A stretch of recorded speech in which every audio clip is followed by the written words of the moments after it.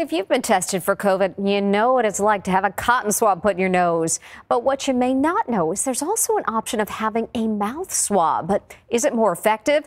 Our reporter Allison Hall has COVID and tried out both tests.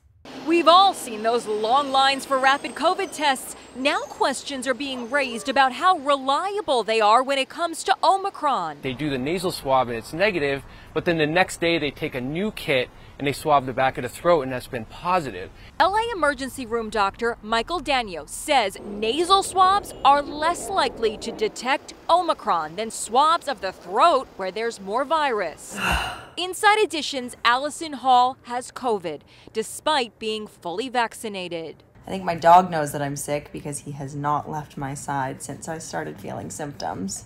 She's keeping a video diary as she recovers. Her symptoms include a very sore throat, so she's drinking lots of tea. That actually helps a lot. She took two COVID home tests, one swabbing her nose, the other swabbing her throat. Throat, nose. Let's see what happens. The nose test says she is negative for COVID despite her symptoms. But the throat swab, that second red line says she is positive. So, which is correct? A PCR test confirmed.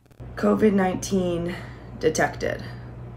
So, not surprised at all about that. Dr. Daignault says the swab doesn't have to go all the way into your throat. In the cheek is fine. Just kind of like open your mouth and just kind of swab the back.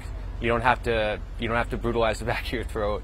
Um, just get like a good sample of saliva is the key. Mayor de Blasio says he's determined to go ahead with the iconic ball drop despite record numbers of COVID cases. Are there any discussions about scaling back the in person event further or canceling it outright?